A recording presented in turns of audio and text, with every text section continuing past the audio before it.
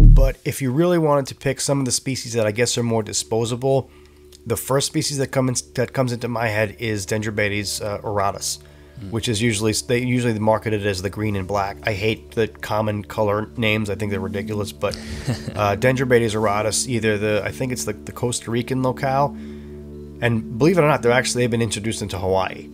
So there's oh, also wow. yeah, there's a, there's a Hawaiian population there, but um, they're they breed very easily and um, they're cheap. You can buy them for maybe 30 bucks a frog, if not cheaper at an expo.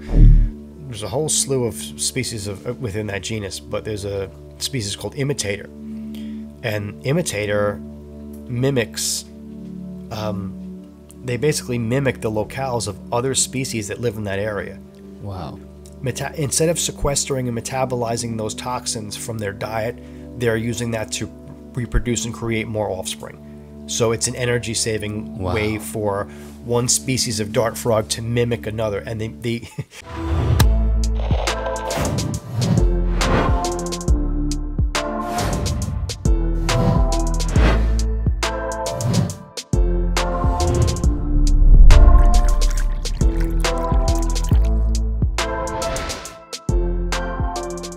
Welcome to episode number 102 of the Animals at Home podcast. My name is Dillon Perron. Thank you so much for tuning in today. Now, first off, I want to apologize if this episode is late. It may or may not be late. So you might be listening to it on schedule or it may be late. The reason I don't know if it's going to be late or not is because, as you can see, if you're watching on YouTube, you'll see that I have moved into my new location still setting things up. It was a really crazy, wild week. One of the things that's not set up as I'm recording this is the internet. The guy was here earlier today, and now I'm waiting for their system to refresh for the internet to come up. So hopefully, this episode is up on time. And if it's not, I apologize for that. It'll be up as soon as I have internet to upload the file up to YouTube or any of the podcasting platforms. So, anyway, we'll get through and I'll talk more about my new space on YouTube and whatnot. If you're listening on the podcast, you can go to the YouTube to see the new space, but I will do a tour at some point in the future. But anyway, more important than that is introducing today's guest. So, today I'm speaking with Dan from the podcast Amphibicast. Now, if you're not familiar with Amphibicast, it's one of, if not the only amphibian based podcast out there. Dan I actually had me on his show a few months back. I want to say three or four months back. We talked about advancing husbandry and whatnot. It was a great time, and I thought it would be awesome to have him on this show as well. So, in the episode, we discussed the importance of keeping animals on the mental health side. It's something we've covered on the podcast a couple of times in the past, but it's been a while since we've talked about it. And I think it's just so important to really highlight the importance importance or or the positive the, the positive aspect of keeping for the keeper themselves. So we discuss that. We also discuss his podcast, why he started Amphibicast, and, and the challenges he's had with it and the successes he's had with it. We discuss the concept of disposable species or garbage species, and that obviously sounds like an incredibly aggressive way to put something, and we don't actually mean animals that should be thrown out or animals that we don't want to respect their life. But we discuss is that concept and how it kind of percolates into herpetoculture. There are species on both the dart frog side as well as the reptile side that become as they become very popular, people no longer want to keep them and it decreases their interest and decreases their value. And then we start to treat them, unfortunately, as disposable animals in some cases. So we discussed that concept. We also discussed dart frog localities, which is a whole other conversation, really blew my mind. And we discussed what it takes to get into dart frog keeping. And, and if you want to become a dart frog keeper, what are some steps you should take to make sure you have success. I know you will enjoy the episode, but before we hit play, let's do our housekeeping really quick. If you are interested in learning more information about this podcast episode or any other, make sure you head to animalsathomenetwork.com. You can also find links to the shop at animalsathome.ca slash shop if you want to pick yourself up a t-shirt or a sweater. $5 does automatically get donated to the Amazon Rainforest Conservancy if you do that. And if you would like to join us on Patreon, you can head to patreon.com slash animals at home, and there you'll have early access to episodes not this week, but most weeks you'll have early early access to episodes as well as the opportunity to submit questions to upcoming guests. And thank you very much to customreptilehabitats.com for sponsoring this episode of the podcast. If you're looking for any reptile related equipment, make sure you check out the affiliate link in the YouTube description or the show notes. And one final quick thing before we jump into the episode I was on a podcast, or I, I recorded a podcast with Dr. Chris Jenkins from Snake Talk a couple of months back. I want to say two months back, and it is now officially released. So you can head out to Snake Talk, just search, search them on Google. I'll make sure the, their link is in the show notes as well, and you can listen to that conversation. It was a fantastic conversation, and I hope you have time to check it out as well. Enjoy this episode. Dan, welcome to the podcast. Thank you for doing this. What's going on, Dillon? Welcome. uh, what am I saying? Welcome. Thank you for having me. See, this is what happens when you're so used to hosting a podcast, you fall back into the host role immediately. I know it's kind of the default setting. I'm so I I'm so unused to it, you know. So yeah, yeah. I, I did that the other day. I forget who I was, what podcast I recorded, but I got through the whole thing, and at the end, as I was going to the outro, I, I was like, to, to close at the podcast, I welcomed the guest to the show. Like he's like your your brain just goes on to vote to you know auto drive, and I'm just like, welcome to the podcast. And it literally was like an hour and a half into the show. It was kind of it was just funny. It's funny how we build up those habits. But anyway, uh, love to have you on the show. Happy to have you here. And I think you are. Have you? I know that you had posted something on Instagram the other day saying you were at episode 50, but maybe you're at episode number 51 of the podcast. Is that right? Yes. At this point, that we're, as we're recording, I just recorded 51 last night with uh, Troy Goldberg, who I've had on in the past. I think Troy was episode five, so we did a pretty long recording session last night, and I'd kind of taken some time off between episodes. Um, my epi- episode 50, I had Zach Heron. He's on uh, Instagram as um, uh, I am making art, and he he was a great guest for number 50. And then kind of Troy was like starting off the new uh, the new season 51. Yeah, yeah. Well, congrats on that. Fifty is no small feat. That's a that's a lot of episodes to record. Thank we'll you. get into the to the podcast a lot later because I have lots of questions around that. And, Sure. And for those that haven't listened to it, I'll encourage them to go check it out. But so we'll, we'll get there. But before we do that, let me know how, how did you get into keeping frogs? So what was the the first experience there? Um, that's a long story. I'm trying to think of the best place to begin that. I, I, I guess the, the the first encounter that I actually had with a wild frog, which was uh, they were American toads in my my grandparents' backyard. Um, they moved out here from Long Island from Queens in like the, I guess it would have been the 40s, and at the time it was still very rural out here. And then as you know, we grew up in the area, you know, suburbia, the suburban sprawl kind of began, and um, you started finding less and less wildlife, especially amphibians. And I remember going into their backyard and they had like window wells. And we used to find a toad there like every spring. And we would we would pick the toad up. We would put it in they had this like um they used to get milk delivered to the house this is how long ago this was. They used to get milk delivered to the house. And they had this little insulated steel box. So we would take the toad we would put it in the box and we would just kind of study it you know check it out for a couple hours. And then before we left to go home we would let it go. And every year we saw it so that was really the first experience that i had with any kind of amphibian as far as keeping though I want to say I began around 10 years old. There was a, a local shop one town over. And um, when we would go down there shopping, we, I would, you know, my, my mother would go shopping. And I would go in and just check out the animals. And they had some pretty wild stuff back then. This was like 89 or so. I mean, they had hedgehogs in 1989, just to give you how like how wild this place was. But they had axolotls on display, and in retrospect, they were probably the most unhealthy axolotls that I had ever seen. They were like by today's standards, they were you know emaciated. They they didn't thrive. They didn't do too well. But you know, my house was not a very herp friendly house, so the axolotls were a good beginner species for me. Unfortunately, they didn't do too well because at the time there really wasn't the understanding to the average person in terms of how to maintain them successfully. But those were the first amphibians that I ever had back then. And then I had uh, quite a few species over the years. I had a kind of took a break from amphibians for a while, got more into reptiles.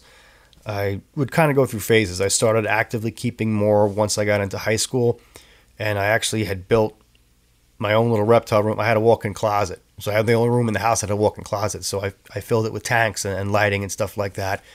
And um, I, I, I had a I had a Colombian tegu. I had uh, a couple other things. That was about the time where I got my first decently healthy axolotl, and um, I kept horned frogs. I kept um, really when I was young. We uh, I kept a lot of salamanders too. I kept a lot of eastern newts, um, a lot of weird, crazy stuff that I couldn't even tell you the common or scientific name anymore because the salamander trade in the U.S.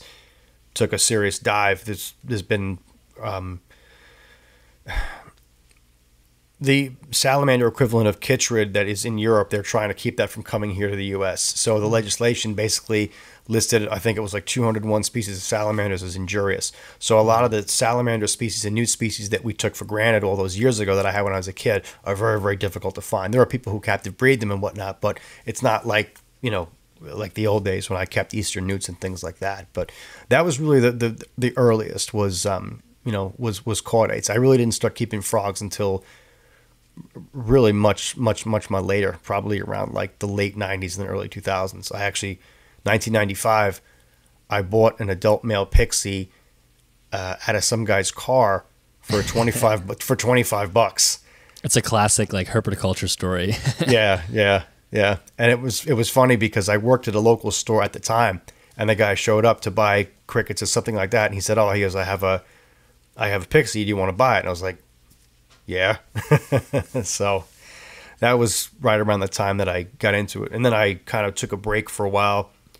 Once uh, the early 2000s started, I, I, I had a pair of I had a pair of White's tree frogs for a long time, and I kept them on and off for a while, and um, did I say this was going to be a long story? yeah, you, you you prepped us for it, but I, I like these long stories. Yeah, and then um, around the early 2000s, I, I ended up in, in some different uh, living situation, we'll say, and I basically had I had the clothes on my back. I had a two gallon tank with my two dumpies, and I had a cap a wild caught gold, uh, golden gecko, and that was basically all that I had. Uh, and then uh, I kind of restarted my life, life over with really not too much. Um, I had those three individuals for a long time after the fact. I had them for probably a good 10 years after that. But um, then I, you know, as I got married and I started a family, I backed off from the hobby a bit. I, I always kept animals, but I didn't keep them to the extent and with the same interest that I do nowadays, which really started back again around 2016. Mm-hmm. So from then on, it was my, my approach changed. It was really less about having animals just to have them, and really more about having animals with a, uh, I guess, with a greater appreciation for what they are and you know uh, their care, and really advance. I, I, took it more serious as a hobby, I should say. Yeah. that's the that's the best way to put it. Uh, yeah, I want to dig into that a little bit. So maybe right before we do that, can you give everybody just a little outline of what you have now? Like, what are you keeping? Yes, I'm in my frog room now, which I don't normally record in because there's a lot of everyone's actually being quiet right now. But um, if I'm just going to kind of circle around, I've got um, frog wise, I have there's the two tanks behind me, which I don't know if you guys. I mean, on the YouTube video, you guys are probably able to see it, but um, I've got one Dendrobates tinctorius patricia here. Uh, that's a female. There's a group of about four Epipedobates anthonyi. They also go by the name of the phantasmal dart frog. Uh, I've got an empty tank over there. I've got two Theloderma corticale, which are the uh, Vietnamese mossy frogs. I've got um, the parents and siblings of these frogs, another tank of Epipedobates, because those things breed like like crazy. They're like the guinea pigs uh, or like the rabbits of the frog world. Uh, I've got uh, two Dendrobates tinctorius azureus. I've got another uh, Dendrobates tinctorius patricia. I've got two Phyllobates bicolors, uh, two Phyllobates terribilis. Uh, I've got a couple of other odds and ends on the other side of the room. I've got a uh, Tinctorius oyapok. I have a Phyllobates bicolor uh, Uraba. That's the Uraba locale. I have two Phyllobates bicolor froglets because I'm working on developing a breeding project with them mm. later on. That's something in the works. I have another uh, another Patricia, and I've got a Ceratophrys aurita, the Brazilian horn frog. I've got a female pixie over there. Uh, I've got a White's tree frog, and um, and then just like some other little odds and ends. Like I've I've got the the spiders, and I've got um I've I've got th- I've only got three snakes now. I was never a big snake guy, but I have my uh, California king snake, which I've had for 19 years. Wow. Yeah, Wow, I've, I've had him. Yeah, I've had him for 19 years, and I've got a pair of.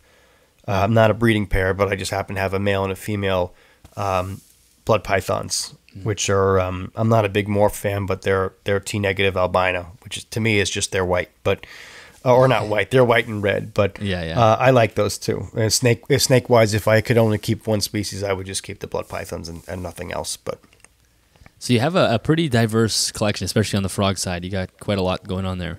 I do. I do. Uh, I have a lot of repeats, but I I don't have a, the large variety of species that some keepers have, but I have quite a few. I, somehow I ended up with like quite a few of what I already do have. So So then, know.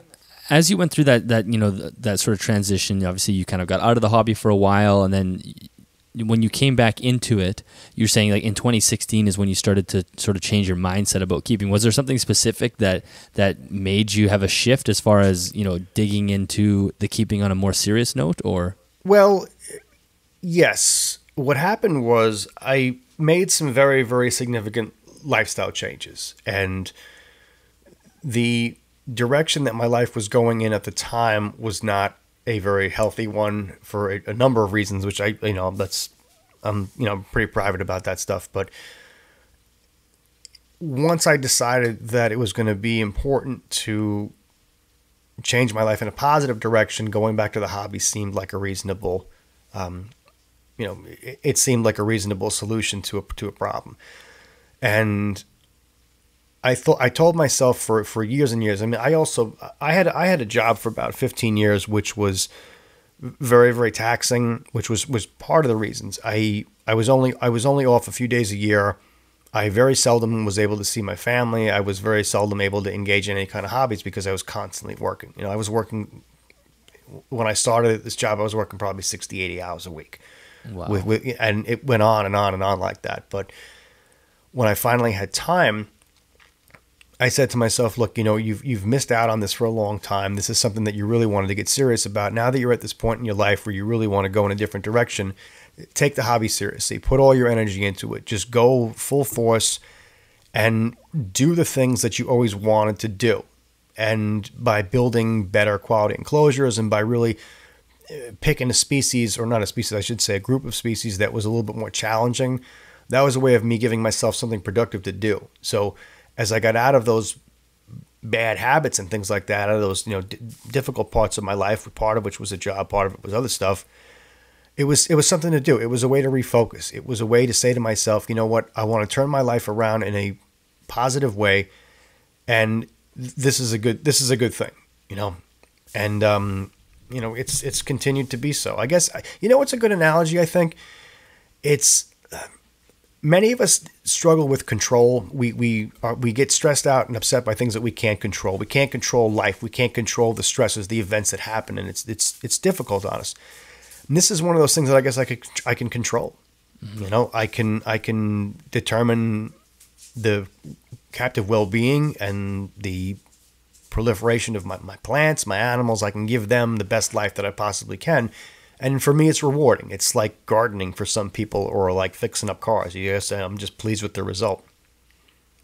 Yeah, and you know it's it's such an important point to make about herpetoculture. Like that that that message is something that a lot of people have an experience with as well. So now I want to talk about that in a second, but, but before that, so when you when you decided, okay, I want I'm going to put my my energy here. I'm going to be serious about it, and this is going to be a tool for me to to you know move my life into a more positive direction.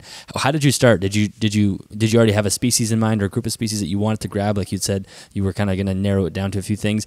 Did you just go buy a new enclosure and start setting some things up? Like what was the step by step process there? Well, what we did was um, we had also moved. I, I bought my first house when my wife and I lived in an apartment for a, a few years early on in our marriage, and um, I mean, I'm, I'm we got married in 2005, so we're married like a, a long time, and we lived in a few different places. But we our first house in 2007, um, we lived there for about nine years, and then we moved to our new house in 2016. which was actually the house that we had lived in beforehand.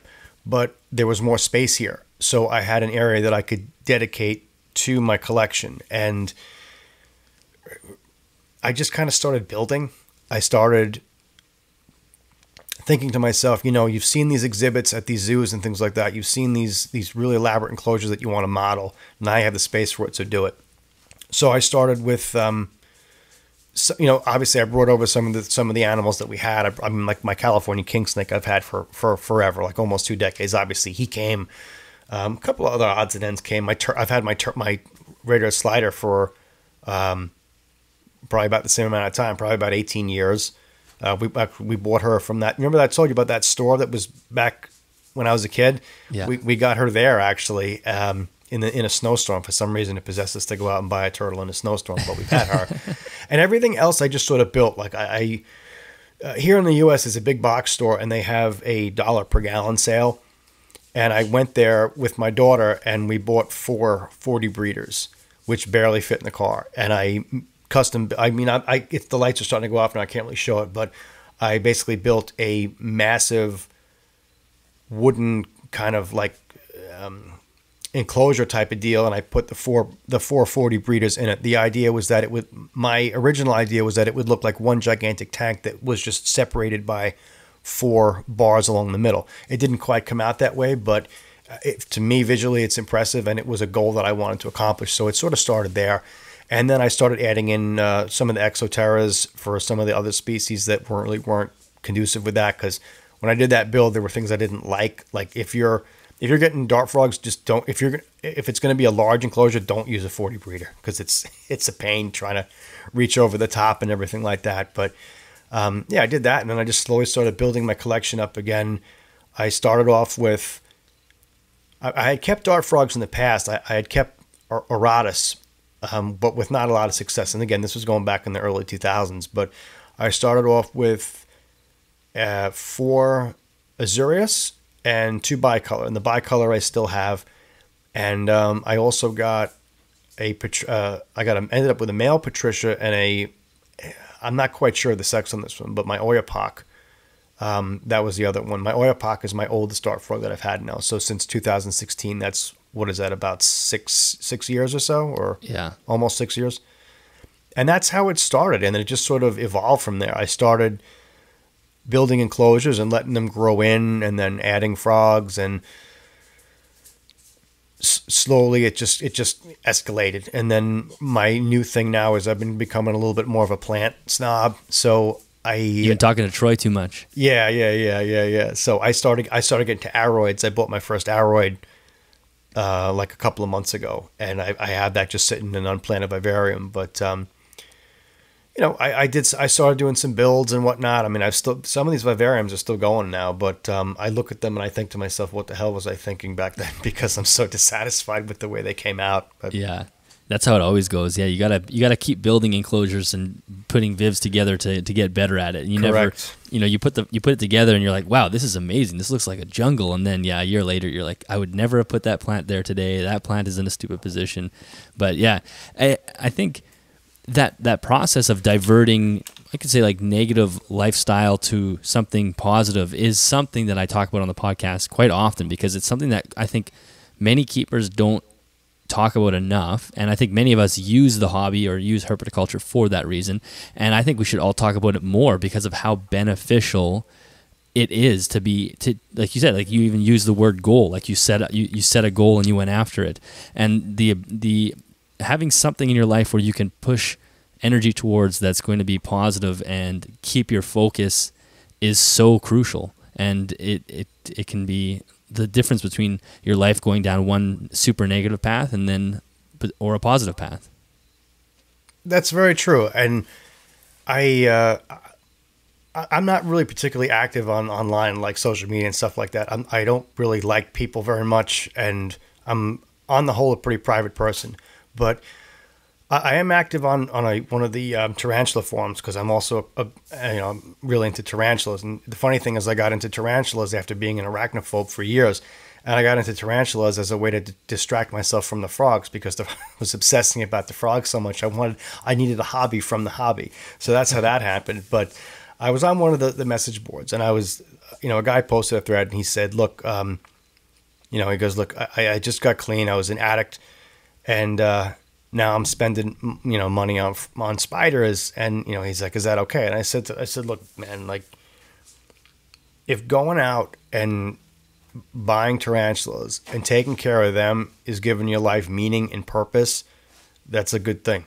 You know, that's that's you you can't hurt people doing that. You know, mm-hmm. when you're messing around with things that you shouldn't, unhealthy lives. You know, I mean, look, people are human. Everyone has life struggles. You know, anyone who's anyone who says that they live a straight life with nothing else is, you know, is not not being completely honest with you. And you know, it was nice to see that this guy. I mean, obviously, assuming everything was was legit, it was nice to see that this guy was able to kind of find the same substance and the same meaning in a hobby that I had. You know, so that's it's. I mean, again, it, was a way for me to. I mean, honestly, I don't even think of myself really more as like a herpetoculturist. I think of myself more like a gardener. Yeah. You know, I, I I take these things and I make them live.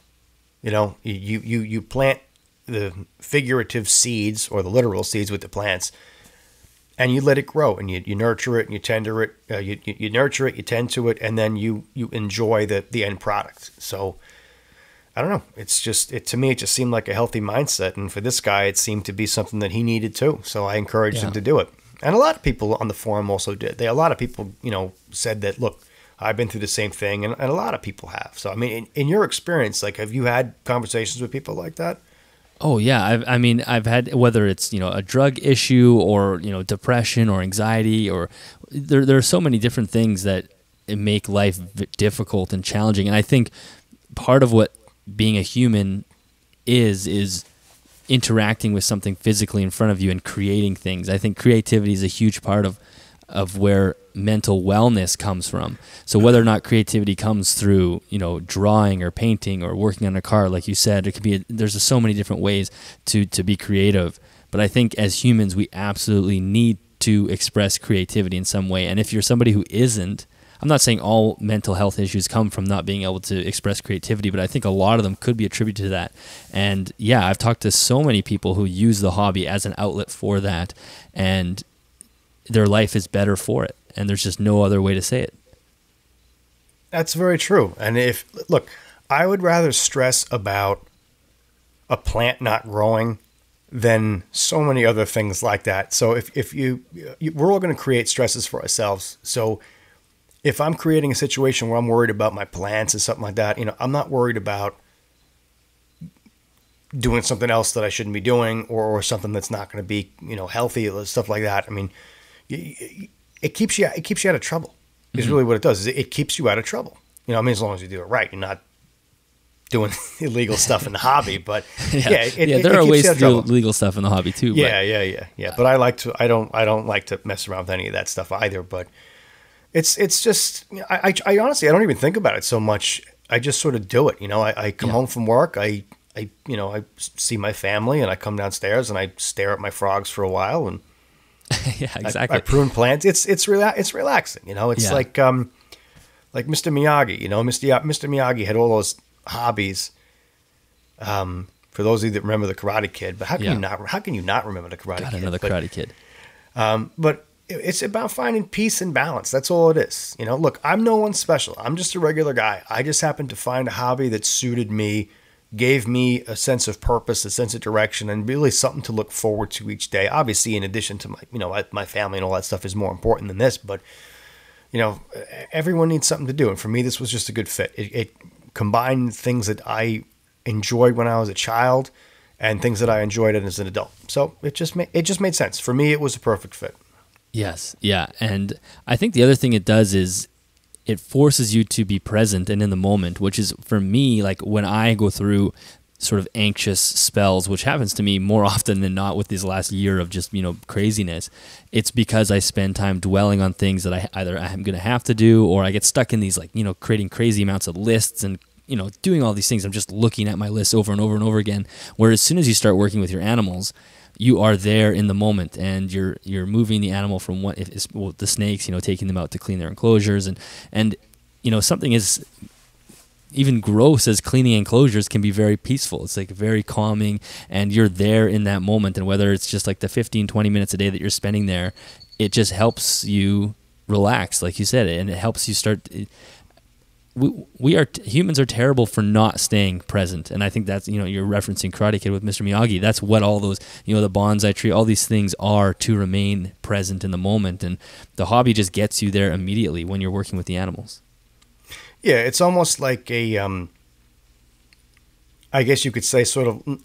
I don't mean a pointless activity. I don't mean pointless in the extent that like an animal's life is pointless or your life is pointless, but it's not an essential thing to do in life. It's not mm-hmm. giving you food. It's not giving you shelter. It's not. It's not doing any of those ends. It's it's just a pointless activity, but it, it's more enjoyable to you than all the things that you need to do to stay alive. So yeah, you know, it's it's it's something to do. You know, and um, I find it I find it rewarding. You know, I mean, other you know, my wife and my kids they have hobbies that they find rewarding. They're good at. This is just this is just for me.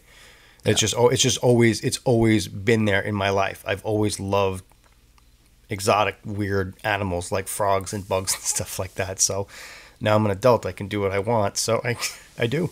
Yeah, exactly. Yeah, no, I think it's a, it's a good conversation to have, and for anyone listening, I hope that I, I, hope people start talking about that more because I think some people don't even realize why they're involved in, in, in the hobby. They're just kind of doing it. They don't realize how much joy they're getting out of it.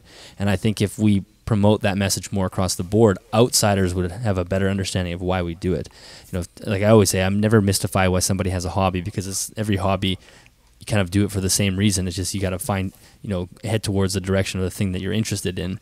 But anyway, we'll move on from that because I, I think uh, we kind of touched those spots. Um, I, I, wanted to chat about something that we actually chatted on your podcast when I was on your show as well. Sure. Was the sort of this idea or concept of cheap or throwaway pets and th- it's throwaway species, I guess we'll say, because we see it in re- the reptile world quite often. It's the, the animals that are very popular. They become the very cheap pets at pet stores and they become that sort of revolving door. And I know there are some in, in the dart frog community as well. So, what, what are some of those species? that you would consider as like you know we don't like to use the term throwaway, but they kind of become that. Believe it or not, it, it varies. It's sort of a cyclical thing, and mm. I I remember when I was a kid, one of the first locales, Well, we'll get into locales and morphs because I know that that was something else that you wanted to mm-hmm. make a distinction between. But um, the first, well, there were one of the first species that came into the trade in the early '90s was Dendrobates tinctorius, and the locale was known as Patricia which is the locales that I have now. I have quite a few of those, and they were really common for a while. They were most people's first experience with dart frogs were with that species or with a few others, and then they kind of fell out of favor. I don't want to say they became a garbage species, but they kind of fell out of favor and they sort of disappeared. They're still for sale, but people don't buy them with the same enthusiasm. But if you really wanted to pick some of the species that I guess are more disposable, the first species that comes that comes into my head is Dendrobates uh, mm. which is usually they usually marketed as the green and black. I hate the common color names. I think they're ridiculous. But uh, Dendrobates auratus, either the I think it's the, the Costa Rican locale, and believe it or not, they're actually they've been introduced into Hawaii. So there's oh, also wow. yeah there's a, there's a Hawaiian population there, but um, they're they breed very easily and um, they're cheap. You can buy them for maybe 30 bucks a frog, if not cheaper at an expo. So the serious froggers don't really involve. I mean, I, I mean, we don't really involve ourselves with those. Although I, I did have a tr- I did have a trio of them relatively recently, but it's not. Um, a difference, I guess, between being like a real serious hobbyist and keeping the more challenging and expensive and difficult species because there's more work involved. But the more common species like that, like like um, Auratus and really a lot of the Dendrobates, look uh, the um, Dendrobates tinctorius locales, like um, Azureus, I mean, which is a beautiful frog. If you've ever seen Azureus, it's it's the, this beautiful blue frog that's bold, and it's just it's it's great. I have two of them, but they're cheap. You know what I mean? So people can sell them and buy them as as I don't want to say disposable pets, but look, uh, I see them for sale at big box stores, and it, it, it burns me up because I feel like that's not the type of place to really get your approach into into dart frogs. I, I don't think that that's really your, your best place to get involved with any animal for that matter. But Um, it's very easy for people to buy these things and not take proper care of them, and if they die, oh well, then I get another I get another group at the next expo. Whereas like with some of the Oophaga species, uh, I mean those frogs, they can they can fetch a lot of money. The some of the Oophaga species, especially some of the rarer rarer locales or like some of the large obligates like Histrionica or Lehmanni, you don't get large numbers of, of, of tadpoles out of them. So Like how expensive would one of those be? depends, you know. Um, for a f- froglet, twelve hundred bucks, fifteen hundred Oh my- bucks. Wow. For a And sex- would be like 50 bucks or 30 bucks, like you said. you could probably buy if you had a proven pair of Auratus, you could probably buy them for maybe two hundred bucks Yeah. for a proven Wow. pair of Auratus. Whereas like a proven pair of, uh, um, I've seen I've seen frogs for sale for about four grand Wow. for for adults of certain you have certain of like Oophaga species, but I don't I don't have anything like that presently. I just I don't have four thousand dollars to spend on a frog, but uh, I know. I know people who work with them and they put a lot of effort into them. They don't breed as quickly as some of the other. Um, I mean, just so uh, just to just to clarify, actually, I should I should mention this because this is kind of part of the equation.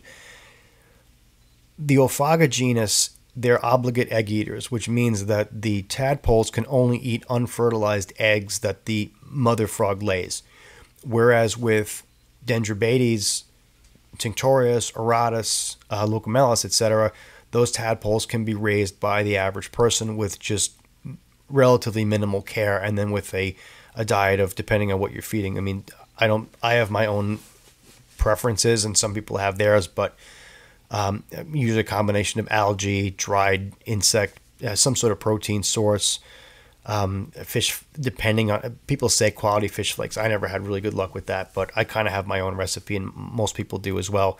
Uh, some of the Repashy products work pretty well, but the point is, the obligate species, the parent, the parents raise them, so they you know they get deposited usually in a bromeliad cup or a film canister. We we use film canisters in the vivariums to encourage the dart frogs to lay their eggs in there, and then the female will lay unfertilized eggs, and the tadpoles eat those. So the problem is you can't recreate that, and people have tried. So that also is a function of why those frogs are more expensive, is because you can't cheat the system. You know, if if the parents are not productive or something's missing in that environment, you're not going to get the the fecundity that you would get with other species. So, like Tinctorius will breed pretty much pretty much constantly. So they're a good, you know, species that, that are disposable are generally easy to care for. They're hardy, and they breed with with minimal uh, intervention on our parts. So that's why those frogs are, are cheap. That's, those are the ones that you see at expos. You know, if you if you're looking for a really large obligate species, you're going to be on a waiting list possibly for months. Like some of the breeders that I know, they have people waiting for a certain locale or something like that. They could be waiting a year or two years. Especially Wow. since since COVID happened, there's been a, a rise in the demand because obviously people are sitting at home and they're thinking about what they want to add to their collection or the, what they want to start. And um, yeah, those frogs can fetch they can fetch a high price. You know, I mean, you, you think that some of the the um, different like ball python morphs are expensive. It, it that carries over into the frog world, but it's it's not a question of rarity. It's just a question of how difficult it is to cr- recreate more of them. Right. And and are those the more expensive ones? Are they more sensitive in as far as husbandry goes? Like you were saying, the obviously Auratus and the Dendrobates for the most part are fairly, fairly hardy. Well- Do they get pretty sensitive at the top end? When I say sensitive, I should really say that more along the lines of like tadpole and juvenile care. Oh, okay. So if you get a and the thing about amphibians in, in general is many of them are explosive breeders. Like tree frogs are explosive breeders. Dar frogs not so much. I mean the average spawn or clutch, depending on what you want to call it, varies anywhere from maybe four or five eggs up to maybe 15, 20, which isn't a tremendous amount, but many of them produce these pretty consistently. I mean, you can get a, a pair of Tinctorius that'll produce eggs maybe every four weeks or something like that. So there's a lot of eggs out there. The problem is like with these, it's challenging to get the obligates to to grow out. So if mm. you're getting an obligate species like Oophaga pumilio, Oophaga histrionica, something like that, you're going to have it's going to be more challenging to raise that froglet Whereas it would be easier with say an Auratus or a Tinctorius because you can supplement their diet. You know, you can make sure you can. There's more that you can do. So, like I was just talking to someone last night about like now what a lot of the keepers are doing. We're adding clay that's been enhanced with with minerals like calcium. So what you do is you add that into the vivarium, and the froglets will go and they'll lay on. They'll kind of well not lay on it, but they'll sort of sit on it, and the theory is that they're absorbing some of the some of the minerals like you know through their skin subcutaneously and they're metabolizing that somehow because a lot of these froglets don't they just don't survive. You know whatever is happening in captivity apparently is not enough whether that's a function of what happens in the wild just through natural selection I, I don't really know. But that's what makes them challenging. I mean when they're adults it really isn't that much of a difference. It's just when they're babies. A lot of them are really really small and they need more TLC than I think the average keeper is ready to go for. Like with with the obligates, um, the the term we use is out of the water for the the age of a the age of a frog. So the age of a frog is usually based on when it metamorphosed and came out of the water, when it ended its tadpole stage and entered entered its um, you know its froglet stage. So most good breeders will hold on to their obligate species like Pumilio and Histrionica for two or three months longer than they would with their Tinctorius or Auratus or Phyllobates or things like that because the babies need that extra period of TLC. And sometimes they just they just fail to thrive. Same but other species can have that too. So the care isn't really that different per se. I mean, you can kind of keep them all pretty much the same husbandry wise. It's just that crucial period of development in the beginning. That's where most people get problems. And that's why some of the Oophaga species are more challenging to work with because it's very, very hard to get them started well. Yeah, that makes a lot of sense. And it, it is funny the way that generates this sort of spectrum of species from, you know, the, it's obvious why an Oophaga species would be more expensive than a Dendrobates and whatnot, but it, it, does, it does create this, like we were kind of saying, these throwaway species. And, and I don't know if there's anything we can do about that. That's maybe just a nat- that's just the nature of having a, a, a pet trade. You're going to have animals because even even on the reptile side, as species become more popular and more mainstream, people want to keep them less. You know, like the higher end keepers stop mm. wanting to keep the lower end species. It's like, yes. oh, I don't want to keep a leopard gecko because you can buy it from PetSmart or whatever. And it, it I, I don't even know. I think it's just kind of a, a bit of a ruthless cycle in a way. It, it is. And just to kind of add a little bit to what I just said about the Oophaga species. Believe it or not, the Oophaga pumilio, I actually, I don't think it's Oophaga pumilio more. I think it's Oophaga typographica or typographia, something like that. Um, it was the, I, think it was like the type specimen for Oophaga pumilio. The, the, the locale na- name is blue jeans, which I think they come from Panama but those are actually imported in re- really relatively large numbers. That's the obligate that you'll get very very cheap because it's cheaper for people to import them than it is for people to actively breed them.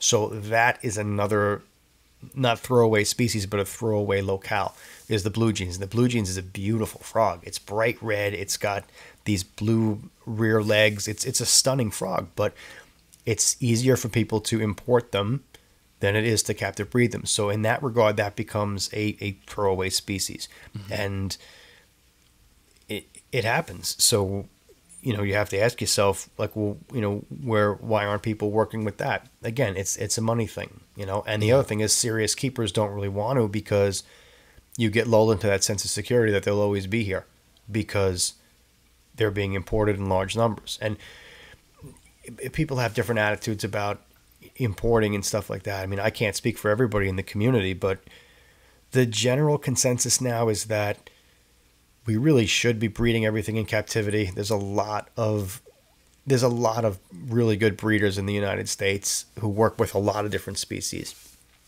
And there are also other places outside the country that do work on a um, on a local level, like um, uh, Tesoros they have a uh, they own an area in Colombia where they raise dart frogs in in their you know in their location wherever that is and they export them legally to the United States. So basically what they're doing is they're sort of they're circumventing the illegal trade by providing a legal trade of I don't want to say wild they're not really they're not wild caught. I, I should say more like almost like farm raised, mm-hmm. which really isn't which really isn't accurate either, but um and they, you know, the people here in the United States will generally kind of like share an import or something like that. They'll, you know, a big shipment will come in from Tesoros and a bunch of breeders will kind of divide it up, et cetera, either sell them off or incorporate them into their breeding program or whatever. But he's doing a great thing because what he's doing is he's eliminating the need to pull from the wild just haphazardly. You know what I mean? So he's able to export species uh, legally into the country that people want and people are willing to pay more money for because they you know that you're getting a healthy frog that was taken care of properly and not just something that was pulled out of the wild. Well, and I think for dart frogs, it's even more risky to be pulling things out of the wild. I forget, was it you who was telling me, or did I hear this off one of your podcasts or something that, you know, there are some localities of dart frogs that their patch of land that they are a locality in is like a tiny, like a football field almost, Yes. the size of. Maybe it was Yeah. you that was telling me that. Can you? So maybe we'll jump into localities and get because that is sort of um, a mess of sort of a spider web. You know, you have these Yeah. general species, but they're they're so specific into certain ecological niches within their native habitat. See, this is another thing that I don't want to say bothers me about the, the reptile world, but the the, the the the reptile mindset about morphs and things like that does not translate well into the dart frog world. And I see a lot of. By the way, this light went off. It's on a timer, so if it's dark in here, that's because the light went off. Yeah, mine will go out soon too. Yeah. well, there's no.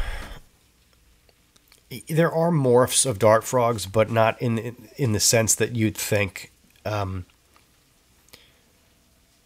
in wild populations, is that there's a tremendous amount of variety in terms of coloration and size among members of the same species, and that's a function of many things, and it's all natural. It just happens through just ge- ge- geography. You could have a population of frogs that's divided from another population by a river, and over how many hundreds of thousands of years they diverge and they, they develop new coloration. And that population becomes genetically distinct. It breeds true. It's it's the same species, but it's it's got a very very unique set of coloration.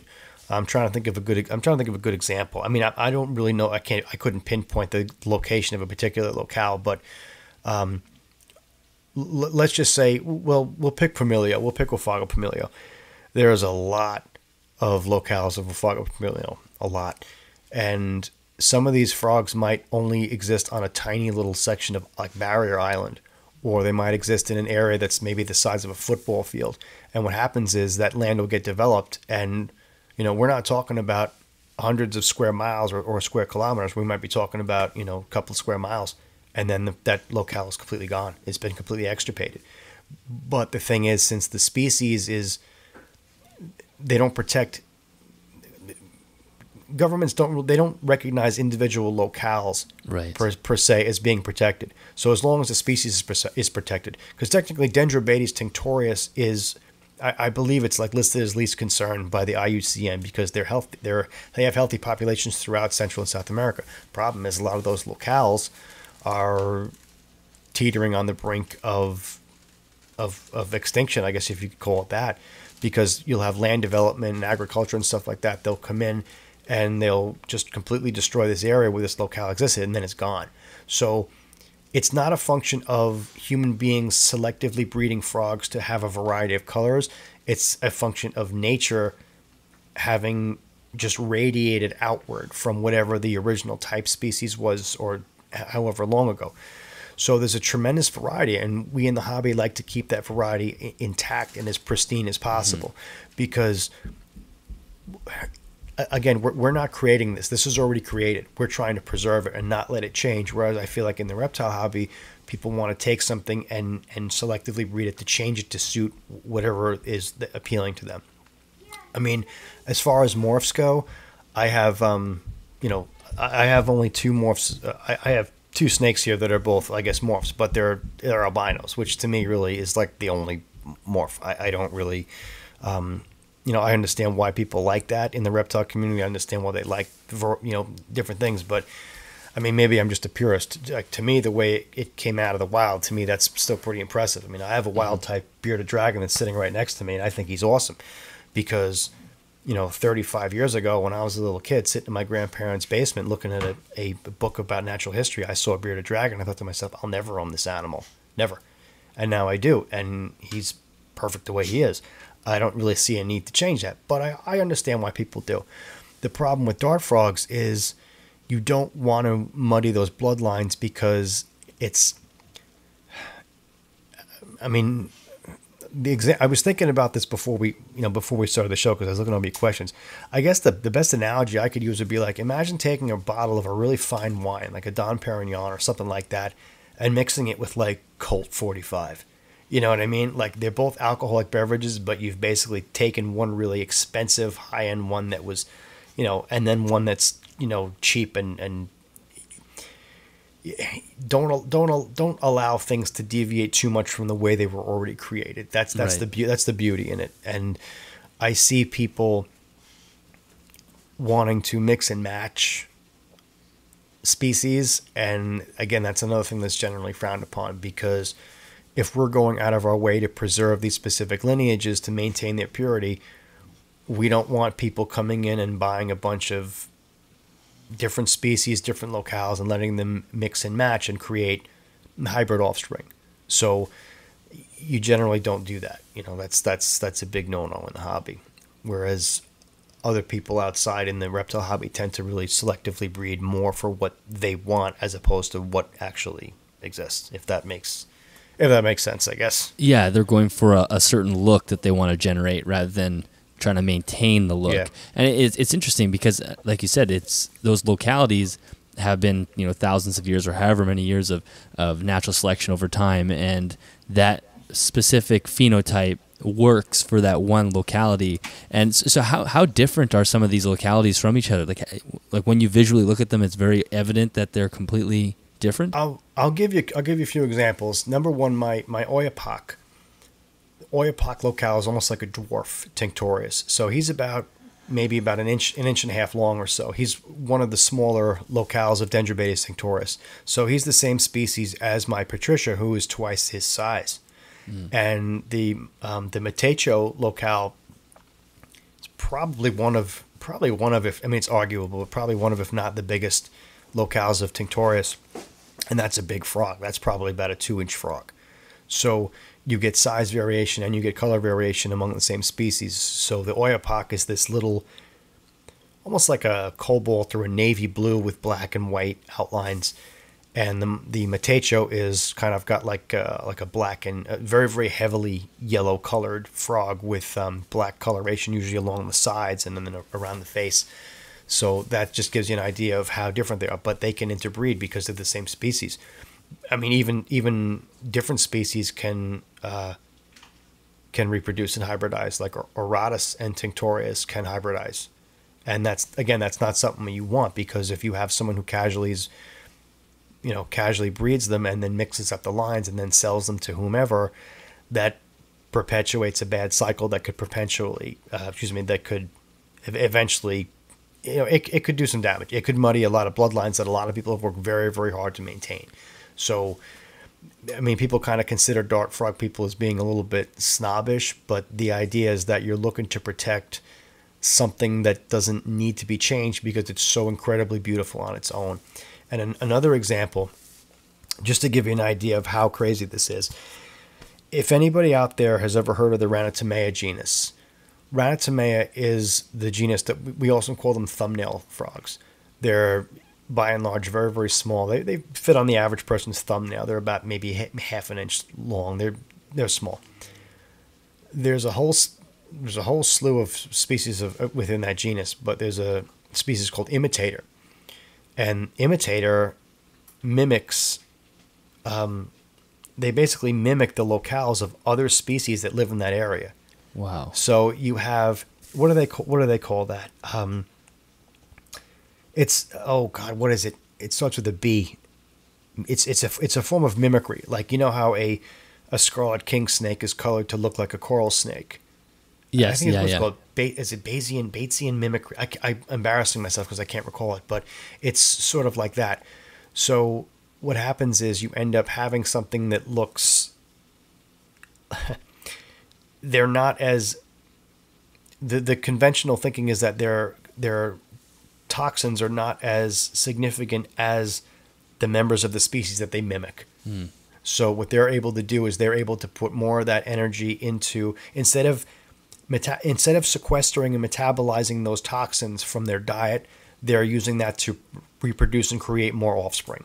So it's an energy saving Wow. way for one species of dart frog to mimic another. And they, they it's really crazy actually because the mimicry it, it's again it can be you could have two frogs in the same species on either side of the on either side of a river mimicking two different species on either side of the river. That's how crazy it gets. So It's like that- frog inception over there. Yes, it's it's like I- I mean, I'm at a loss to describe how complicated it is. It's like trying to remember. It's like it's it's like trying to explain how a soap opera started to someone today. That in the soap opera. I mean, no one listens to soap operas anymore, but you get the idea. uh, well, like Netflix, it's like trying to explain a Netflix series that started, you know, five years ago to someone who'd never watched it before. I could it could go on forever about it, but yeah, it's it's a very very complex set of um, set of species and species that imitate other species.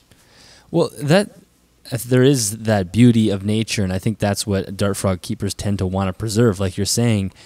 So, is that the general consensus for most dart frog keepers? Are most people happy to make sure things are being preserved, or or is there a side of the hobby that people just don't care and they're just not purists and they're letting things go however they want? Well, there's, I mean, there's there's sides to everything, and in the grand scheme of things, what I think is is my opinion. I, I have other people who I you know who I talk to that, that generally share my opinions. I've you know in, in in the whole time in doing my show, and I've had a lot of different guests on.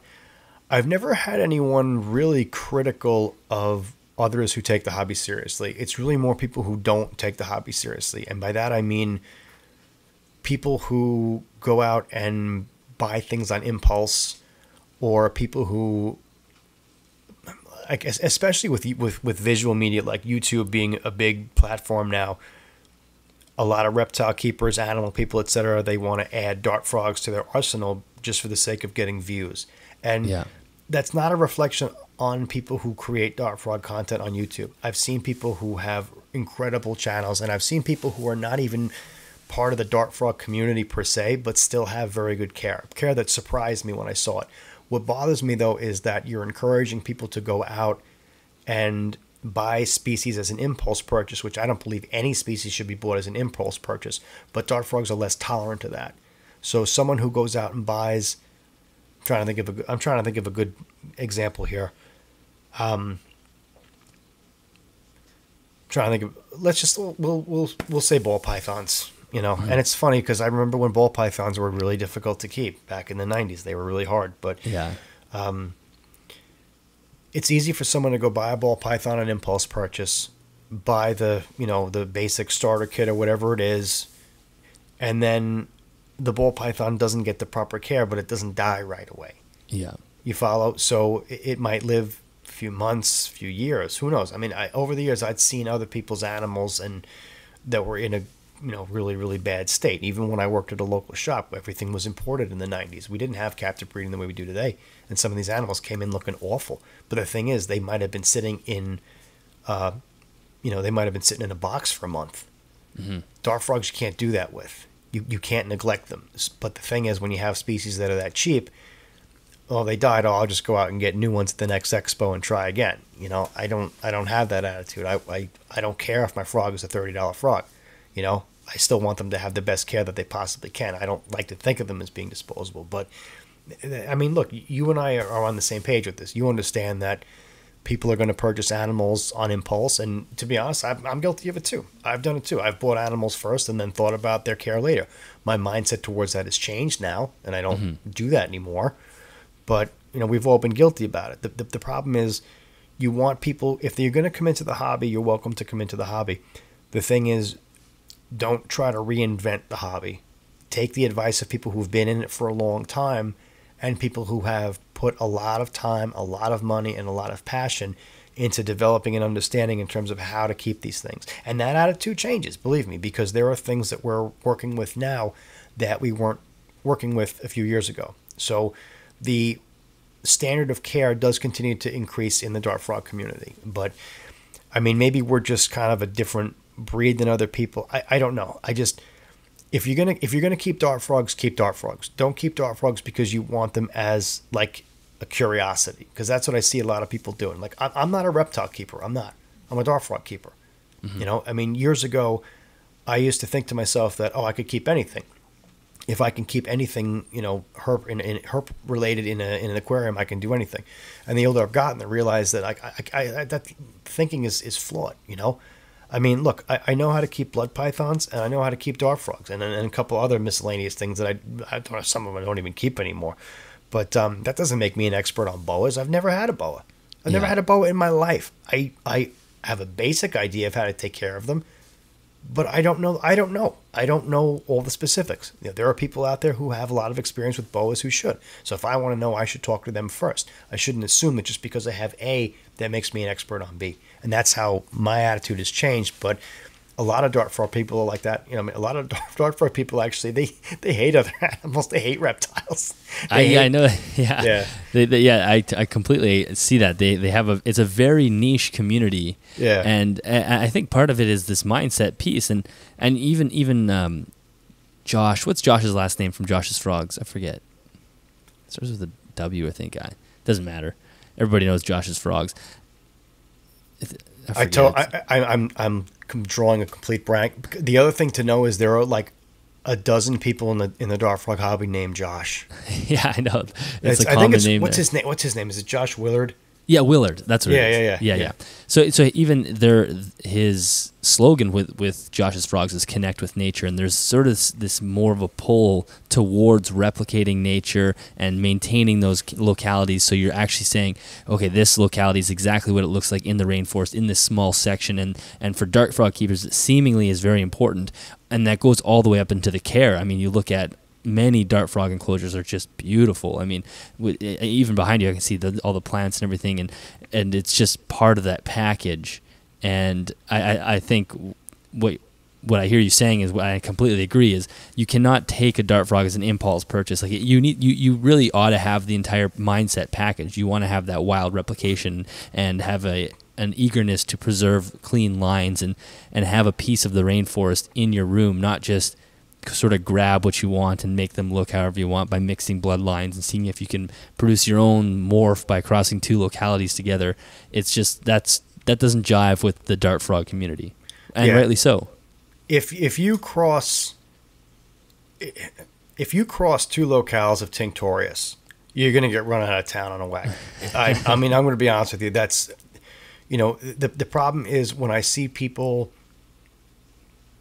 the the mix and match thing really really bothers me and people who know me have seen me get like really like twisted over this but I've seen people on YouTube they'll go to a store and they'll mix and match a whole bunch of locales and species they'll throw them in one tank together and then you look at the comments and you see oh get this get that you know get a get a red and black get a blue and black get a, a red and yellow and it's like this isn't it's they're not a box of crayons. You know, it's not just. I mean, again, obviously, most of these people are making these comments just on impulses. They're not even animal people, probably.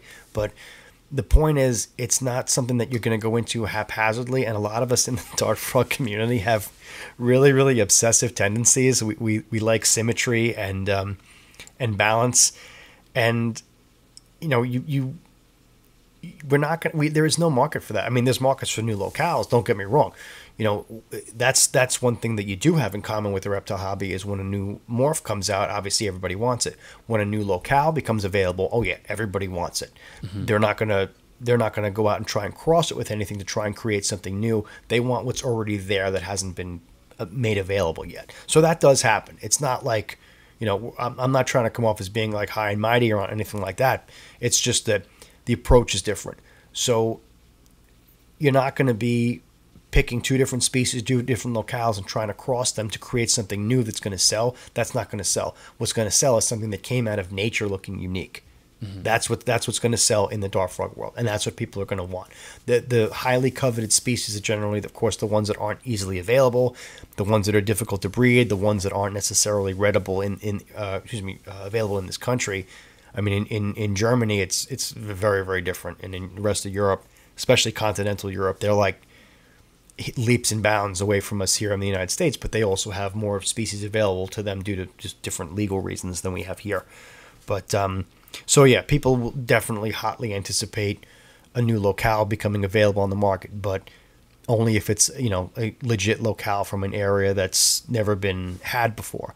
But if it's a morph or you know a crossbreed or hybrid like that, that frog isn't worth. I mean, it's obviously its life is worth something because it's a living thing, but no, it's it's not worth it. I've even heard of people they'll voluntarily take they'll voluntarily take someone's mismatched pair and give them a pair of the same locale in exchange to, to, to encourage them to get into the hobby. You know what wow. I mean? Like, like, okay, well, hey, someone goes on, I'm not on Facebook, but let's just say someone goes on Facebook and says, oh, uh, I, you know, I, my, my Auratus and my Azureus uh, had babies, hooray. And then I've, no, I'm serious. I've heard of people will contact that person and say, listen, um, send us those froglets. We'll give them a home where they won't breed, they won't anything like that. And in exchange, we're going to send you, um, you know, a, a, a, male Azureus and a female Auratus, or you know, whatever it would be to complete two different pairs. Now you're on the right track. Now you know where to go. So that's kind of the attitude that wants to go forward um, rather than just trying to haphazardly create these like Frankenstein's monster types of things. But you know, I, I could go on about that forever, but it's just uh, it's just one of those things that really you know miffs me is that the idea is you can just kind of keep these things. I mean, you don't get me wrong, you can keep certain species communally, you can. Um, but mix and matching is, is, is a bad idea. And I even see people do it with other stuff, and you know what? People are probably going to get pissed and they're not going to like what I'm going to say, but I don't understand what possesses people to keep dart frogs with mourning geckos. There's a there's a picture out there online of a was a mourning gecko that was uh, eaten by a Phyllobates terribilis. It's got the thing hanging out of its mouth. so I don't understand why people do that. Yeah, people like it. Well, hey, look, some people light like to light off fireworks. That doesn't necessarily mean that it's safe all the time. But yeah, exactly. Yeah. Well, it it just blows my mind the the the dart frog community mindset and how, and how even like that story you're telling where people are willing to send frogs to people to to just perpetuate the the cleanness of the hobby it's like they you the dart frog keepers really have a lot of passion and and they want the hobby to stay stable and they're even willing to you know send frogs to people and make sure that that's not happening as much as possible. Like, it's pretty remarkable. Well, that was a rare exception. I don't want to make that out like it's the norm. That was yeah, a, yeah, that was a rare yeah, exception. But yeah, I assume that doesn't happen every single day. But even just the, even that mindset, like that, mm-hmm. that is that seems like that mindset permeates through there, most dart frog keepers. There there is a lot of gatekeeping among serious keepers. There there is that, but look, you know, don't come don't come into any hobby or really anything in life guns blazing thinking that you know everything because at the end of the day you, you don't know anything. Look i don't i don't profess to be an expert at all you know? I, I appreciate learning things. I got i learned things from people who were younger than me. I learned things from people who have been keeping uh, shorter than me. But the thing is you have to res- you know you have to pay respect to the old guard. You have to understand that there are a lot of people who really mastered the art of this and you know you, you're gonna have you're gonna have to get hazed a little bit you know, you're going to have to yeah. put up with that because it's the same. I mean, another good analogy is also the tarantula community.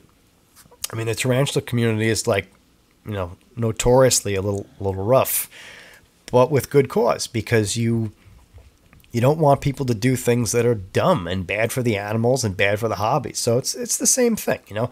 Again, I don't know what other communities do. I'm assuming it's probably similar, but th- there is you know, there's, there's tolerance for mistakes as long as you're willing to accept that it's a mistake and move forward. Mm-hmm. That, that's that's really it. You know, I mean, don't get me wrong. There there are some hard asses out there who will really give you the business. And I'm not active on Facebook. I don't go into any of these groups or anything like that. And obviously, people have different ideas and different opinions and stuff like that. But, um, you know, that can be a good thing. It it, it can be. You know, and um, you know, sometimes you have to realize that you know when you're starting out, your care is is wrong. You know, so. It's just yeah, that's just the way it goes. So if somebody is wanting to get into dart frogs, so instead of asking what is a good starter species, because that's sort of a, a bit of a trap as well, because then it takes us back into the garbage species where people just end up buying a, a frog because they want to get into frogs, but they it, you know it, it creates problems in itself. But if somebody wanted to get into dart frogs, what what is the process? Do you think they should go through? Is it like it, how how should they choose a species, and then how, how do they step forward into that world with with some success? Like you said, as you start off, you're going to be doing things wrong, but how would somebody get off on the right foot generally? It depends on the person. It depends okay. on the person's maturity level and the person's ability to, to make a commitment. Because at the end of the day, if you have the right qualities and the right characteristics, you can keep anything successfully. I mean, mm-hmm. you if you had the, the, the time and the money and the know how, you could keep a hippo successfully. But yeah. I mean, obviously, don't do that. But I think that it, it really depends on, like I said, the the ability to you know understand that it's it's it's a commitment, the way any other living thing is, and um, don't don't be intimidated by the enclosures. I that's one of the, the things that we in the dart frog hobby kind of do just to keep the hobby to ourselves is we kind of we kind of make it a little bit out to be a little bit more difficult than it is. Um, the thing about enclosures for, for dart frogs is it, it really is very important because ultimately it makes care easier for the animal. You're, you're by having a planted vivarium, you are not just it's not so much that you're creating an environment that's closer to what to replicating to what the animal would experience in the wild you're creating a system that allows for uh, humidity to be maintained in a better way, um, for waste to be processed. You know, obviously plants they, they, they pull nitrogen out of the ground, you know, fungus, etc. And um, it just makes it easier because frogs they crap a lot. And not that many people realize that. And it's just easier to have that extra little boost. Um, but you don't need to be that intimidated. I mean, you don't need to create this, you know, elaborate hardscape or this elaborate foam background. You don't have to do that. I mean, I have froglets growing out in. I, I have one uh, one froglet that's growing out in a little five gallon aquarium with just some leaf litter and a mm-hmm. stick of pothos. So there's no shame in that. So you don't need to really get intimidated. It doesn't have to be anything. But the on the other end though is you can't really you, you, you can't just keep them on you know a roll of newspaper with a water dish the way you would what? other species. Yeah, yeah. So you have to do a lot of research. I, there are some really good books out there. I wish I had the title for one. I think it's the I think it's the complete Oophaga Pumilio. The book is actually written in German, but I was able to get the American or not the American, excuse me, the English version of it on Amazon for I think about forty dollars. That's a very very good book. That explains the basic care, the, the you know vivarium setups, etc., things like that, and um, you want to be comfortable with culturing the types of feeders that these things need, or having a, a readily available access. Uh, excuse me, a readily accessible um, feeders because by and large, most dart frogs at some point in their life will only eat really, really tiny food.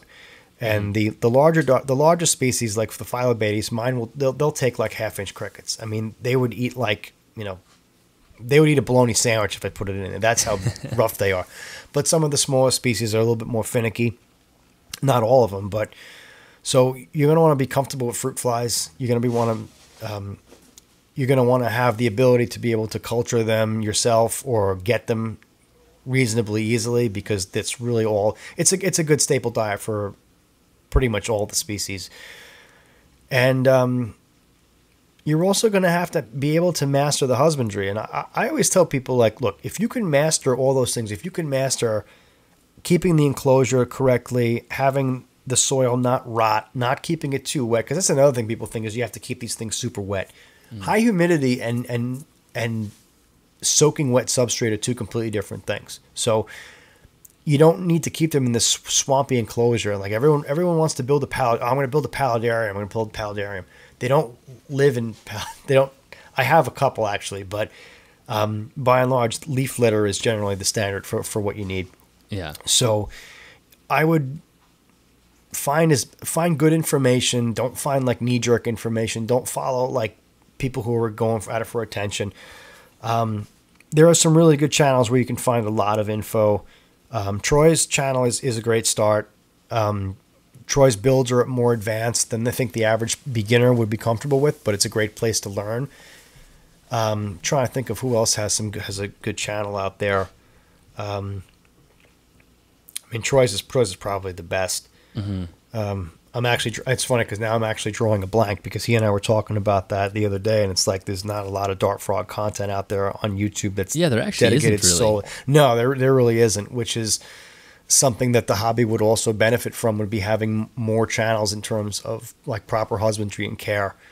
Because I feel like there's a lot of that with reptiles and there's a void there's a void for amphibians and that's another reason why I started the podcast. But just to get um, I don't want to get too off track I want to get back onto your question but if I if I if someone asked me how do I get started? I'd say all right well well what do you want to get out of it? Well I want to keep colorful frogs. Okay that's cool so why don't we hold off on picking a, species? Because again, anyone can keep any species if they understand the, the, the caveats to it. So I would have to say that maybe if you begin with um, do some reading, find find out how they live in the wild, find out some of the weather patterns of where they live. Um, also establish where you're going to keep yours because they're not tolerant of extremes you're gonna want to like I, I have central air in my house and it was really hot up here um, really all the whole month of july but it was like brutal for a couple of weeks. It was up in the high 90s they'll die in that weather. They'll die in the high 90s uh, they can tolerate the low 80s to like within reason and even in the wild you can find frogs basking in like 110 degree hot spots but in the wild they can leave. So you're gonna want to have a, you know a, a room or a setup that's going to be able to handle that. So you ideally you're going to want to keep the temperatures in the mid mid 70s is usually the safe zone. I mean, yeah, you could get up to 80 for an hour or so and yeah, you could go down to like 65, 68 at night because, you know, jungle gets cold at night. People don't realize that. Some of those places can go down into the 40s. But you don't want to make those extremes consistent because ultimately that's bad for the animal. So uh to answer your question, I guess I don't really I don't really know. It's it's, it's a it's a hard long question. Yeah, Yeah, it- it- yeah. It's find you know you know what. Look, let's make it simple. Find someone who knows more than you. Find someone who is uh, has a you know an, an established reputation in the hobby. And a lot of these people, a lot of these breeders are. You can ask them questions, you know, because a lot of them, a lot of people out there, they're not even so concerned about, you know. They're not concerned about like making a sale to make a few bucks off of a frog. They want to make you a customer for life, and by getting you into the hobby in the best way possible, that's a good way for them to develop a business relationship with you, which is good for both people. So you could reach out to a breeder, you know, reach out to someone and say, "Hey, listen, um, you know, what do I need to get started?" And that person who keeps hundreds and hundreds or even thousands of frogs in a collection for sale would probably be the best person to advise you in terms of what to start with based on your skill level. Uh, there are certain caveats, um, like Tinctorius. I don't think that Tinctorius is a good beginner species. I don't. I think that there's too much temptation for the beginner to mix and match them. Plus, that's also a a lot of times how they're sold at pet shops. Um, I mean, I've seen a lot of pet shops where you go in there and it's like, it's just says assorted dart frogs and it's like all different locales of Tinctorius. I'd go with a reputable breeder and I'd get a well established froglet, even if you have to pay more. The, the older a froglet is, the hardier by and large most times it's going to be. So don't get the cheap little runt. Get you know preferably something you could put eyes on at least for your at least for your first frog. Um, generally, for with the exception of Oophaga, you know three four months out of the water, then you can tell the froglets are probably well developed. Um, I mean, if you can get a sub adult, that's good too. Captive How long do dart frogs live for generally? Anywhere thirty years. Oh, okay. Oh, wow. So Yeah, that's amazing. They can. That's the next thing I said about commitment.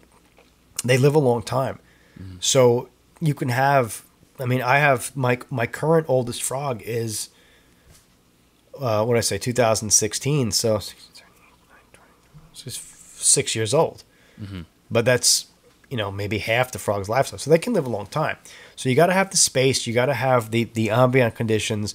You got to have an idea of how the husbandry goes, and you got to have the, the feeders. So if you're not comfortable with fruit flies, you're not comfortable with um, uh, really really small crickets and stuff like that, it's probably not the best uh, pet for you. But um, the ability to keep plants and understand lighting and understand humidity that that does help. So it, you're going to have to also be kind of handy. There are some companies out now that make they they modified some of their existing lines to accommodate dart frogs, and I'm not I've never had one of those enclosures, so I can't really comment on it. But like my Exo Terras, I have to modify those for dart frogs because there's too much ventilation. So, So you put something over top of the screen. Correct. Yeah. So I I'll cut. I mean I'm fairly handy, which I which is good because that's what I get paid to do. But um, you have to be able to you know you can you might need to, to modify the terrarium. You might need to get glass cut, restrict some of the ventilation. Um, you're going to have to kind of understand how ambient humidity works. You're going to want to be able to hand. I mean, hand misting works sometimes great. Sometimes it doesn't. I mean, my house with the central air, yeah, the frogs are cool, but it pulls all the moisture out of the air. So I'm missing them more frequently. It's it's a balance, you know. Um, there's there's so many things that go into it. Like God, I, could- I could I feel I I feel like I'm completely dodging your question, but like the more I think about it, there's No, maybe maybe I'm overthinking it. You know, it's it's not as easy, it's not as difficult as people say, but maybe that's just the way I keep. Uh, I guess the best thing to do is, like I said, get you know, master master taking care of fruit flies. Get a vivarium going beforehand before you introduce frogs to it, just so you understand how that it works, and understand the values of, of just good you know supplement the importance of supplementation stuff like that. You know, it's a really good analogy is actually is if you can keep fish. If you can keep if you can keep a reef tank, like a saltwater fish tank, you- you're gold if it comes to dart frogs. You know, if you are looking to keep amphibians, I would recommend a different species. I would recommend like a White's tree frog, or um, uh, what's another what's another good beginner species. I don't really like to. Re- I don't really recommend Pac-Man frogs to people as as, as a beginner species. I, I say go with a White's tree frog. You, you really can't kill those things. Yeah. and then work your way into something else. You know, I, I wouldn't. I wouldn't recommend to the average person start off with dart frogs right away, but it, it is possible, you know, for the right person. Yeah. Well, no, I think I think you gave laid out a whole bunch of great points there, and I think that analogy of the reef tank is actually a really good one because you, you we do want people realizing that it's not just as simple as you know the the leopard gecko that you buy from like the, it, there is a little bit more complex. There's it's not like you, it, like you said it's not like you can get into it and start with dart frogs. Somebody could do that, but you do want to be going into it with the expectation that there's going to be some legwork there. So so yeah, that, that that was great.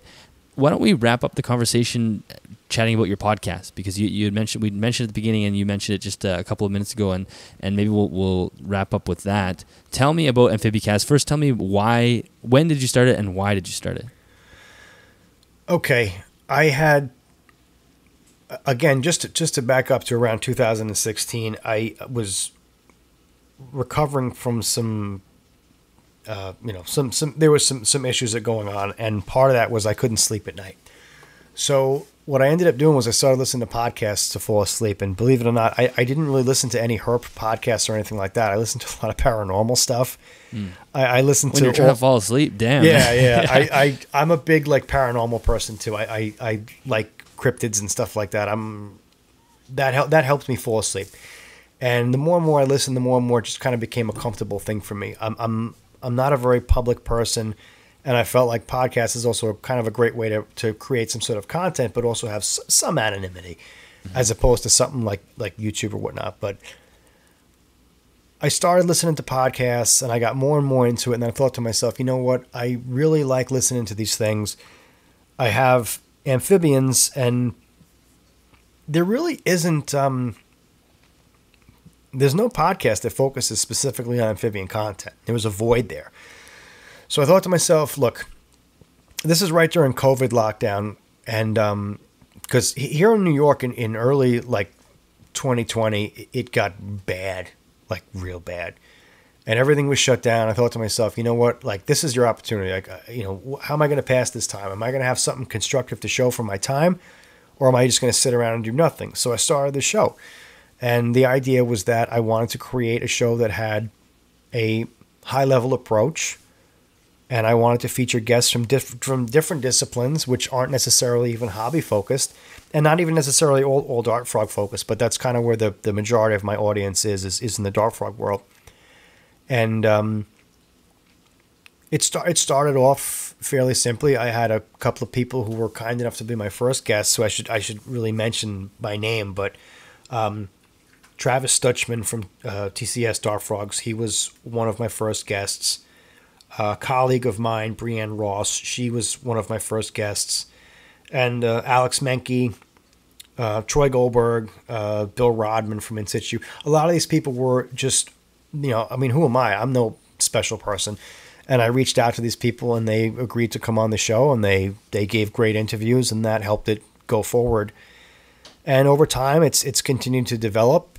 People seem to appreciate the content. I don't I don't have a huge audience, but it, it is kind of a very specific topic here, so I don't necessarily expect that. But I'm I'm happy with with what I've achieved. I've released 51 episodes as of today. I've only take I mean I've, I've I took one week off last month, and I'm going to take another one off this month just for a break. But you know, you know what I'm talking about. It gets tiring. Yeah. So th- that was it. I, I found that I had questions about things in the hobby, having been out of it for a while. And I found that this was a good way for me to get to know people in the hobby and to get people to come on and share their interests and their expertise with others, people who might be beginners who, you know, wanted to listen or people who wanted to just talk shop. I've had scientists on, I've had conservation. I've had pretty much anybody you could possibly imagine who could contribute something to the discussion. And um, I've had a lot of really, really really incredible people. I've had a lot of scientists, I've had a lot of researchers, I've had a lot of breeders, I've had a lot of um, people who just work with certain species. You know, I've had you on the show. Having you on the show was a real pleasure. You also influenced me because I was, excuse me, I was listening to some of herp podcasts as I as time went by, and I, I didn't really have anything in mind that I would listen to regularly because. A lot of it wasn't really like guest focused and that's for me that's kind of like interesting and you had a lot of guests on your show and you had a lot of the content that i found entertaining and, and interesting so uh, I, I, did model a lot of my approach based on your influence too mm. so you had a hand in that as, as well and I, I, thank you for that um, and it just sort of became something to do it became a safe activity to do inside the house with, with, with covid going on and um, you know, it just it was just sort of another way to branch out from the hobby, just something constructive to do with my time rather than just uh, you know just sit around and uh, and do nothing all day. Yeah, well, it's a fantastic show, and I, I, can feel that professionalism that comes through on it, and it, the audio is good, and it sounds great, and yeah, you have some amazing guests, and and it, it is somewhat surprising that there was no amphibian podcast out there. Like you filled the niche immediately. I, it, it's amazing that that void was there. There's a quite a few reptile podcasts and sort of herp podcasts out there, but to focus just on amphibians, there wasn't anything. It was it's kind of crazy. Yeah, and it's not exactly the easiest thing to maintain either because yeah. there's. Uh, I mean, I do some shows on occasion. I, I call it thinking outside the glass box, where I'll focus on another species that's not even remotely close to amphibians. Like I had, you had Nick Gordon on recently from the Abronia yeah. Alliance, right? That's yeah. right. Yeah, you had him yeah. on as well. Yeah. I did. I did. Nick's Nick's a pretty amazing guy. His his work is pretty incredible. Uh, I had him on the show. I had Richard from the Tarantula Collective come on. We talked about tarantulas, and um, I'm trying to think what was it? There was there might have been a couple more on there that you had I Bill Strand on as well. I had Bill Strand on. That's right. Bill Strand was another person who influenced me too because uh, I I listened. To, I'm not a chameleon person. I, have kept chameleons in the past with very unsuccessfully, and I feel like if you you know just to, to answer what you had asked me before um, about someone beginning wanting to get into dart frogs. Follow Bill Strand's approach to chameleons. Mm-hmm. Everything that Bill Strand recommends about don't don't do don't do chameleon care for dart frogs, obviously. But the, what's going on way, with my frogs? yeah, sorry, don't yeah don't don't do that. But um, Bill Strand's approach is very evidence it's, it's evidence based and it changes depending on what works and what doesn't. So. Mm-hmm Bill was another person who was extremely influential because I respected the way he approached the subject. Um, the, and the he's so systematic. That's the other yes, thing. Is just like yes. he creates these really clear, simple to follow systems for people. Like, okay, I need this branch, this branch, basking spot, and it just yes. becomes very simple. He takes a very yeah. complicated thing down to something that anybody can follow. Yeah, Bill is extremely methodical in his ability to break down husbandry needs step by step, and you know, I I don't Bill has been keeping chameleons for God, I think like 40 years or something like that.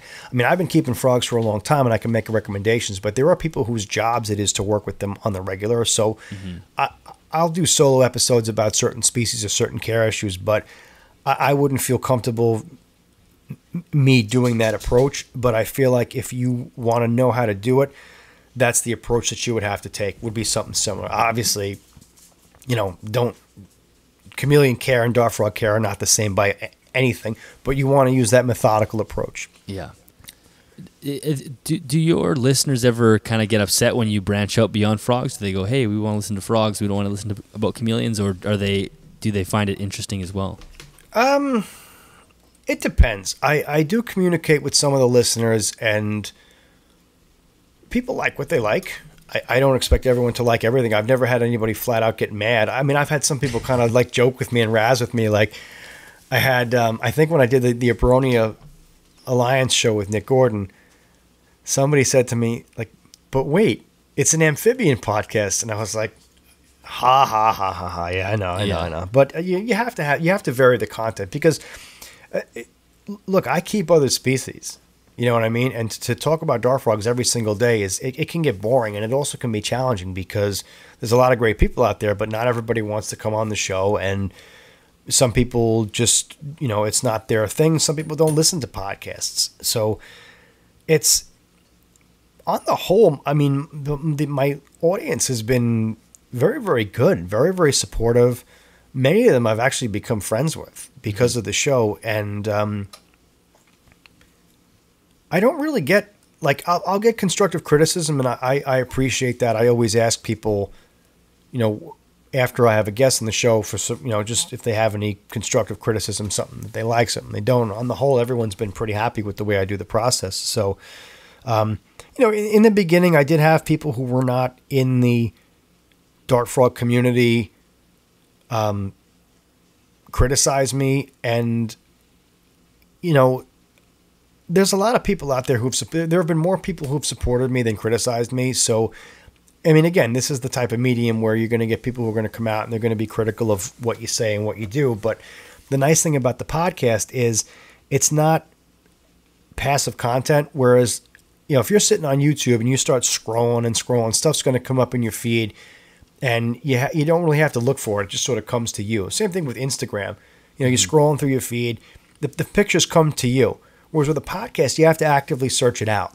So even though my audience is not huge, it's not like I mean, look, I'm not Joe Rogan, but there, there's there's a niche for it, and and it's filled with people that I agree with, people that I like, and I'm totally into into, into getting into discussions and debating people about things because that's you know that should happen, but um, you know the the the, the criticism only helped me make a better show, yeah, and it only helped me realize that I'm I'm I'm doing the right thing and that I shouldn't be taking criticism from people who really don't know anything about what I'm talking about.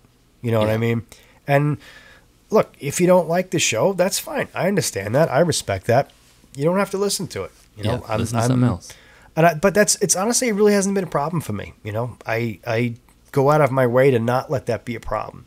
So, yeah, no, that's that's great, and there is a massive learning curve when you start doing a podcast. At least I found. I'm sure you found the same way. It's yeah. like you you think it sounds simple when you kind of have it on paper, and then you start going through the process, finding guests and all this, and there is there is some some struggle. Do you do, are there any moments where where you you struggled? Were there any certain things that you found to, to be the most difficult with running the podcast?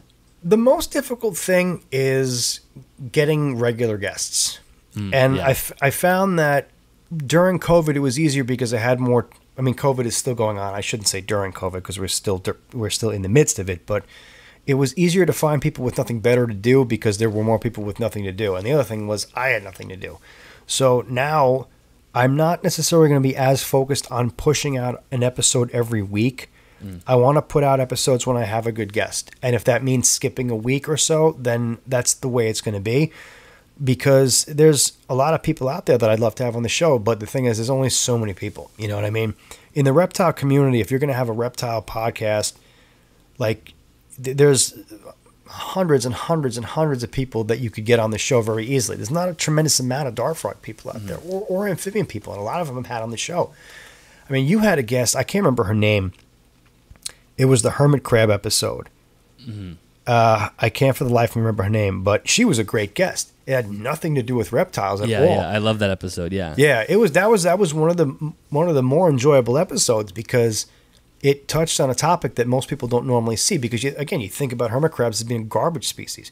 I have I, I have long term hermit crabs that, you know, I, I took my my my father in law. He he he he passed away from cancer uh, seven years ago, but when he was alive with my mother-in-law, they would go to Atlantic City and they would come home with hermit crabs. And this, I'm like, "God damn it! I'm like, I told you not to do that. When we bought them for the kids, I'm like, look, they're like, look, it lives in this. I'm like, it doesn't live in that little thing. I was like, damn it! I was like, now I got to go buy a big 40 breeder, and I got to. So I set them up properly, and I, you know, I never see them because now I have them set up the way they're supposed to be. But stuff like that, you, you have to branch out a little bit.